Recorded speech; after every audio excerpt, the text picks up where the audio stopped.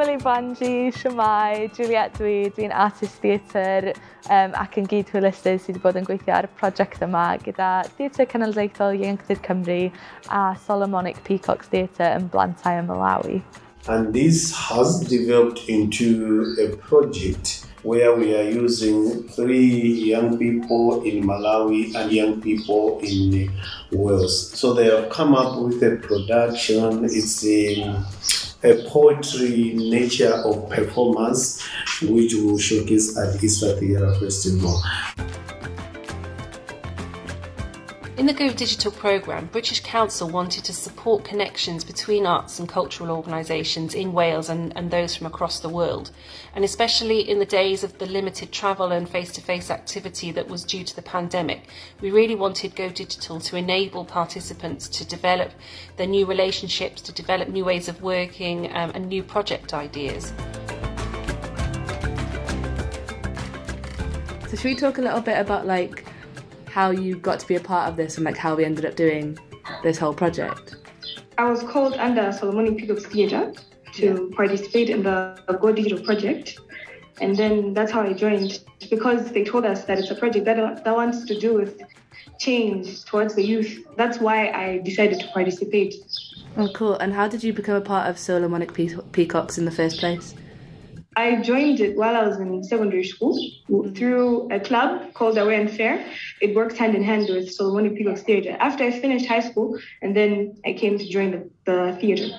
Oh, yeah, for me, um, when I got the email about this, I just thought it'd be like such a cool opportunity because I've never worked with anyone like internationally in this way before, and especially being able to like create over Zoom is something so like unique that it just yeah it is unique. Yeah and it has been like really cool to be able to get to do it. Once beautiful but now demolished. Once warm but now it's heated. Africa is so hot that one can fry an egg on the tarmac road. The first phase was like an R&D phase, getting to know each other and establishing like a safe space for the young people to be able to collaborate. We went on and developed a spoken word piece which came from the young people. And a theme that came out of that was voice how we use our voice how some people might not be able to use their voice under different circumstances but in particular their voices as young people their languages how they express themselves and what messages they want to put out into the world what they're passionate about I'll continue to shout about matters that are being locked away in a cage.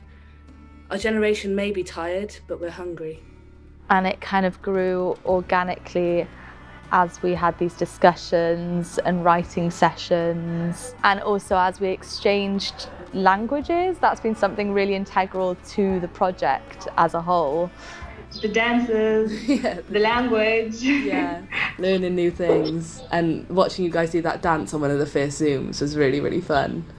Um, Benny. Yeah, the Benny. We did Benny the first time. Yeah, that was really fun. like, I didn't even know that was like part of your tradition, so that was really cool. Yeah, we got to learn each other's traditions. Mm-hmm, straight away. Mm-hmm. You know, you just wake up one Sunday morning and you don't know what you're going to learn from Wales. And after the session, you just hear Dosh. and you're like, what? Yeah, it means thank you. It means Zikomo. So it was a good experience we're working with an amazing artist called Edith Morris. She's an artist and filmmaker based in Cardiff. So we had a couple of sessions with the young people where we did some mood boarding. We spoke about what we wanted visually and we've just had a workshop with Edie looking at how she's going to overlay the young people's handwriting on some film material which we've been collecting. But also outside of that, they've been continuing to build their relationships outside of the workshops themselves.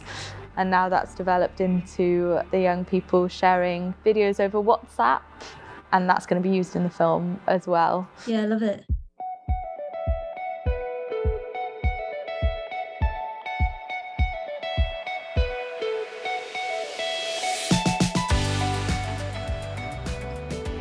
The film that's being created by the young people, I think, really reflects those shared interests, that shared interest around exploring common themes that the participants have explored together in the project, and I really can't wait to see the finished film. I think it's going to be really lovely because you'll get to see the like relationships and connections that have been formed within the workshops but also externally. It's just really beautiful just being able to connect like that and create art on something like Zoom, which otherwise is very corporate and boring. How do you feel about the videos that we've been filming? Well, I felt like we're all the same.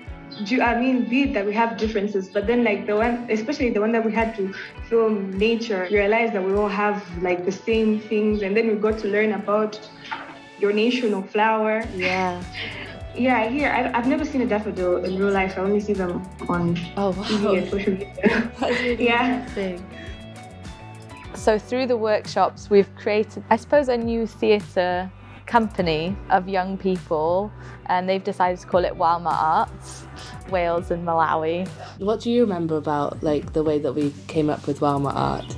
I think it was Ducky. She was suggesting that we merge the names, Mhm. and then we were, we were trying to figure out what we could merge. Would it be the country's name? And then Emmanuel just said, "How about Welma?" With that last part, the um, the arts, we wanted to think of something that like brought it together, like We have in common. yeah, what we have in common and like what we've been creating and what we have been creating is art. And now it sounds like a very cool collective.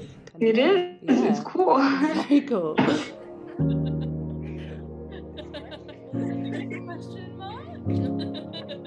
Has like the project inspired you in any way? yeah, when we got to share our experiences, Mm. it has inspired me. Got to learn a lot of things from there, like the whole thing about time. Mm. That you just have to, you have to plan your life well because you live it once, and then you have to, yeah, you only have like, like limited time. It made me not only inspired me to like want to do more writing and more creative things, but to learn more about things from all over the world and like the way different people live and being able to connect with people who are like around the same age as us, who are living like in completely different places. I'm really excited to see the final product that we make. I'm also so excited. I wonder how it's gonna look like when they piece it together. Yeah, literally, like how we're gonna edit it and how we're gonna make it, like the voiceovers that we're gonna make and how we're gonna film ourselves hmm. talking about the poem. Would you do this again? Like if there was another opportunity? I would. I would because I've learned a lot and I've had fun and getting to know people from the other side of the world has really been an interesting experience. Yeah, it really has. It's made me want to work harder to like get to know people from all over the world and get to know how, how they live life. I wish this should go on and go on and go on because we're learning a lot. And I can't wait also to, to share these ideas to my friends here in Malawi. And since we started our journey with our colleagues in Wales, it's not a one off journey, but it's a, a long term partnership so that we can cement this um, relationship forever. Diolch, Zikomo, Dima Kukonda, Cari chdi. Thank you.